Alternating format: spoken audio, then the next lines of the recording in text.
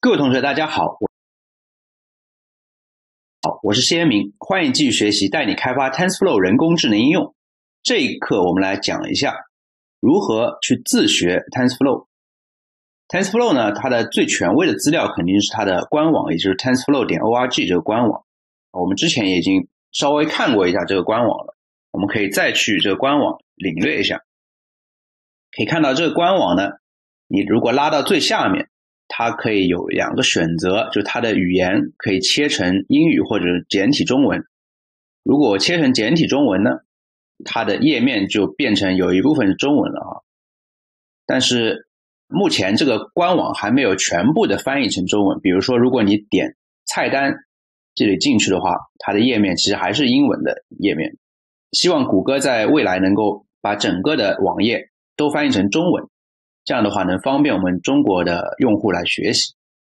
然后呢，TensorFlow 它这边其实设计的非常好，你看它上面有各种的菜单，然后呢，这里你是可以搜索网站的一个内容，在最右边是可以直达它的一个 GitHub 的网页，然后这边就是 TensorFlow 的一个在 GitHub 上的源代码的存放的一个地址。如果我们回去可以看到。这边呢有开始使用，如果你点击一下开始使用的话呢，它就会进入到这个菜单 develop 这个菜单，就是说开发这个菜单。然后在开发之前呢，我们可以点击 install 这个菜单去学习如何安装这个 TensorFlow，就它有在各个平台的安装的教程，比如说在乌邦队里面如何安装，它都有详细的解释。然后在 macOS，还有在 Windows。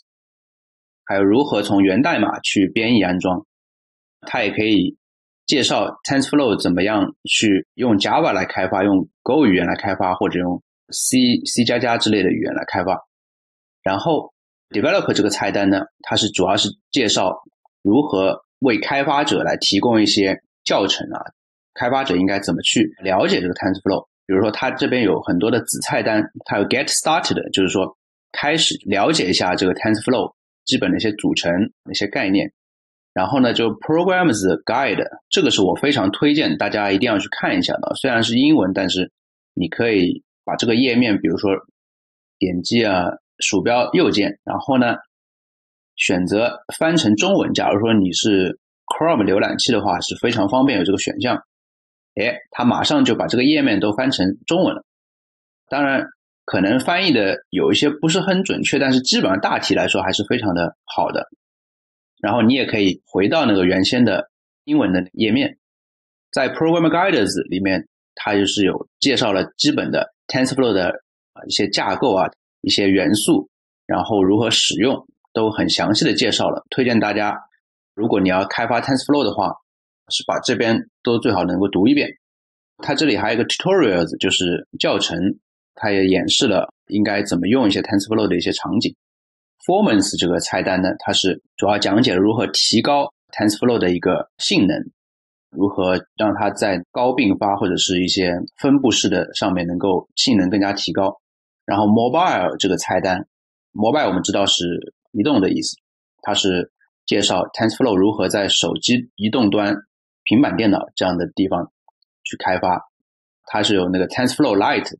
新的一个库，然后呢，它这个主菜单里面这个 API 可以看到，目前显示是 API 二一点四，就是说是 API 的 release 的一点四版本，就它的一点四的发布版。目前我做这个课程的时候呢，TensorFlow 它是一点四版本是最新版。然后呢，这个 API 里面它就是说是它的应用程序的那个接口嘛，然后 API 的一些文档可以看到，它 API 有分。Python 的 API，还有 C 加加的 API，还有 Java 的 API，还有 Go 的 API，还有 TensorFlow 的服务器的一个 API。一般我们常用的还是啊 Python 的这个 API，所以如果你点击这个下拉菜单，它就会显示所有的 Python 的 API。然后你点击每一个进去的话，它就会进入到详细的那个页面。然后 API 里面你也可以去搜索，比如说我搜索 Tensor，它就会显示啊。Tf 点 tensor 这个一点四版本的参考页面，如果你点击进去呢，它就会直达那个一点四版本的 tensor 这个类的定义。其他的你也可以参考类似的去看它的一个定义，比如说 variable 变量，你看到它会介绍这个变量，然后有示例啊，也非常的详细，就非常多的内容介绍它。所以我觉得这个 TensorFlow 的文档是做的非常好的，但是目前还是需要你英文的水平还可以，至少能看得懂。当然，如果你英文水平不是那么好的话，你也可以用刚才我们的鼠标右键点击啊，翻译整个网页翻成中文啊，来更好的帮助你理解。然后呢，可以点击显示原始网页，就又回到了英文的一个页面。我可以 deploy，deploy 就介绍怎么部署 TensorFlow 到一些硬件的平台，比如说它 distributed TensorFlow 就是分布式的 TensorFlow 是如何用 TensorFlow 去开发分布式的一个。人工智能的一些应用程序，还有介绍 How to run TensorFlow on Hadoop，就是在大数据的那个 Hadoop 那个平台啊，如何去运行 TensorFlow，然后还有 TensorFlow 的一些 Serving 的介绍，就是如何用 TensorFlow 去构建一个服务的一个系统，还有 Extend，就是 TensorFlow 的额外的一些扩展，可以去看一下。这边比如说 TensorFlow 的 Architectures，就它的 TensorFlow 的架构的一些描述，还有呢，如果你要自己去定制一些属于你的 API，然后你可以看这个菜单里面的东西。这边还有一个箭头，你如果把它展开的话，它会有接下来的内容。比如说它的 Community，就是说 TensorFlow 的一个社区，你可以点进去 TensorFlow 的一个社区，可以看到，比如说它会介绍啊 TensorFlow 社区是干什么的，然后呢，它社区里的一些项目。还有它的 versions，就是 TensorFlow 的一个版本，就可以看到 TensorFlow 各个的不同版本。然后呢，TensorFlow 的 TFRC 就是一个 TensorFlow 的 Research Cloud，它的一个云平台哈。这个云平台也是非常有用的啊。如果你要求去做一些云平台的一些开发，就可以用这个点进去看如何用。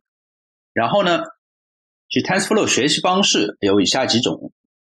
首先，官网是用于对 TensorFlow 一个大体的基本的了解。官网是最重要的一个参考地方，因为啊，所有的更新都是在官网里做的。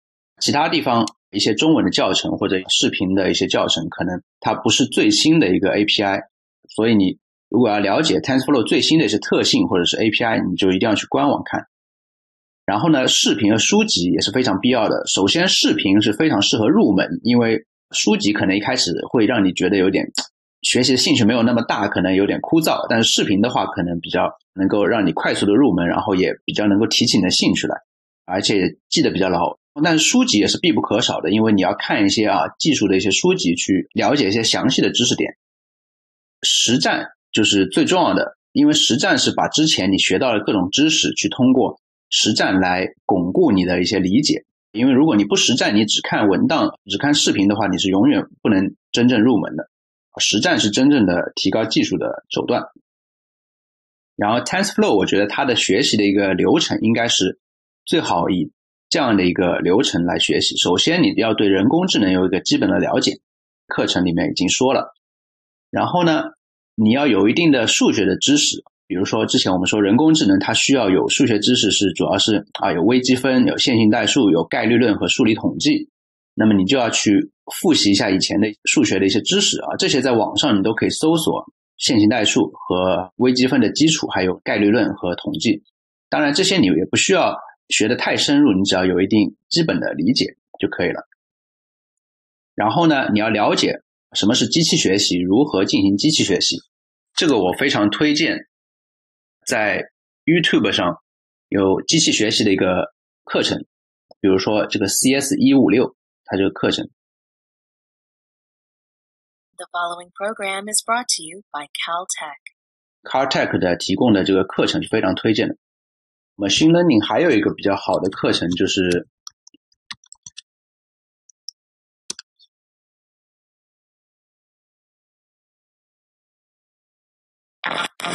就是吴恩达呃吴恩达那个博士他出的一个课程，比较老的一个课程，他是斯坦福大学的一个课程。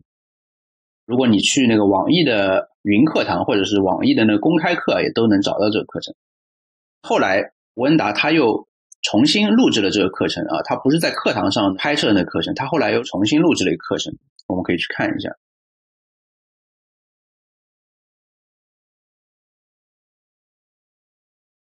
就这个课程叫 Machine Learning Coursera，就是吴恩达在那个 Coursera 的机器学习的一个课程。Welcome to this free online class on 这个课程就是有一百零七节，他讲了机器学习的一些基本的概念啊，推荐大家去看一下。machine learning is one of the most 然后呢，还有吴恩达的 Deep Learning 的一个课程，也是非常推荐的。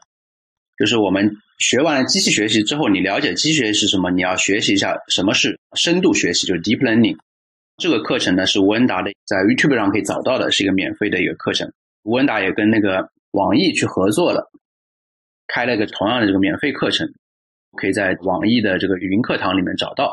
它是叫神经网络和深度学习，你可以免费的去注册网易的一个账号，然后登录这个课程，点击立即参加，然后你就可以进入这个课程去学习它的视频，还有课后的一些文档和练习。学完了机器学习和深度学习之后呢，你可以再去学习 TensorFlow，这个时候你就完全有一个扎实的基础了，这样你再去看 TensorFlow 官网的一些知识的时候，会更加的容易理解。